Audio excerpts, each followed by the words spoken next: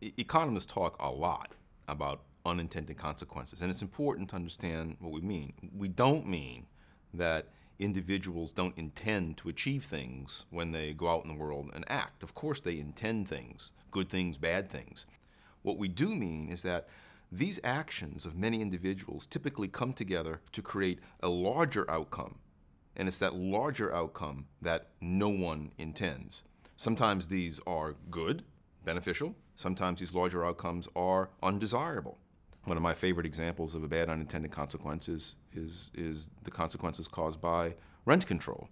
Rent control is a policy of government to keep the rental rates of apartments artificially low. Landlords are prohibited by law from charging prices higher than the rent control prices. Well, one unintended consequence of that piece of legislation, of that policy, is to make rental units more scarce than they would otherwise be by telling landlords, look, you can't raise your price to certain levels, that means that some people who would otherwise become landlords don't become landlords. They choose not to rent out their units. They choose not to rent out some uh, rooms in their house. They choose not to build rental units that they might otherwise have built. And so, one unintended consequence of rent control is to reduce the supply of rental units. Now, the people who impose rent control, that's clearly not their goal. They don't want to make rental units less available.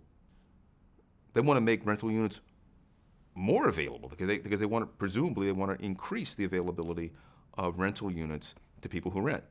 But one unintended consequence is that is the opposite. Rental units shrink in supply. When I teach Econ 101, I tell my students on the first day, intentions are not results.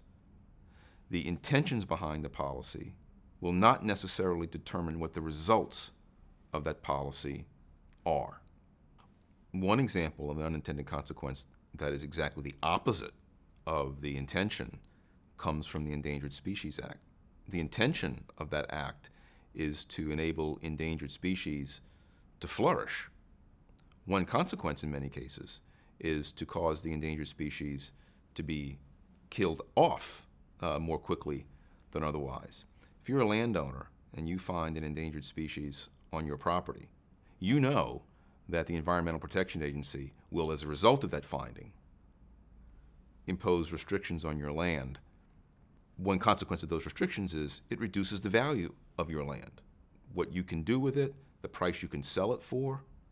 So, what a lot of landowners do when they find what they think to be endangered species on their property is they kill the species and they shut up about it. It's called shoot, shovel, and shut up kill the species, shovel to bury it, and say nothing about it. Now, clearly, that's not the goal of the Endangered Species Act. You know, the take-home lesson from this is that you judge a policy not by its stated uh, goals. It's easy to state good goals. You judge a policy by the incentives that that policy will likely give to the people that it affects. And, it's a very important one to, for policymakers, is to be really modest and, and, and humble. Right? We live in this incredibly complex world.